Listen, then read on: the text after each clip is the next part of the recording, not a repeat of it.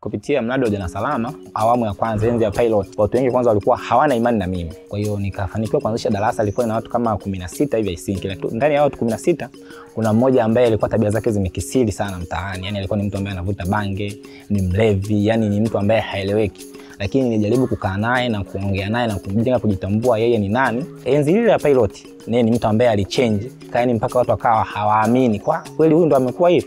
Kwa hiyo kupitia yule mtu kwanza mimi nikazidi nika kuongezeka kwa watu, yani watu wakawa wanaongezeka hivyo, wamama wakawa wanatoka sehemu mbalimbali, yani wanakuja ili tu wapate da- darasa. Kata kwa bada ninaheshimika, unakuta wamama wakubwa wanapiga simu wanalia, mimi mume wangu anauza machungwa bila kumshirikisha.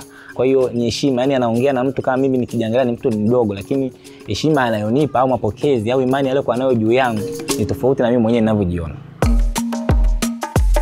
Darasa langu la sasa hivi, sasa hivi wanafunzi zaidi ya 25 na kuna baadhi ya wamama wanatoka sehemu mbalimbali, kwa sababu hapa hadi kwenye kitongoji cha kata ni mbali, na mimi ninazungumza na wanae na madarasa, lakini pia nje ya madarasa wanakuja wakazi mbalimbali kwa ajili ya kuwapatia elimu watoto wao.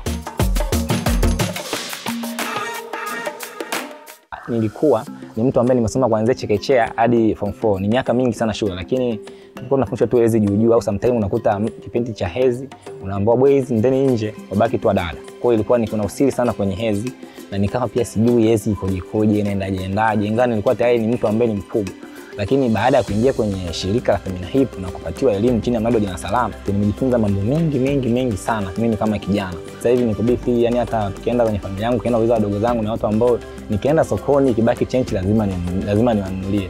Nikienda hivi nikirudi ninawapa mkononi kabisa. Wanakata walivyoona najali kuhusu hedhi, wanakamata mtakuwa pale walikaa wakachangisha labda hela kwa ajili ya kununua pedi naweza kwa ajili ya wanatoto wa shule wapi, lakini na mimi pia nikawa ni miongoni mwa balozi. Kwa hiyo sasa hivi nimekuwa balozi wa hedhi ndani ya kata yangu.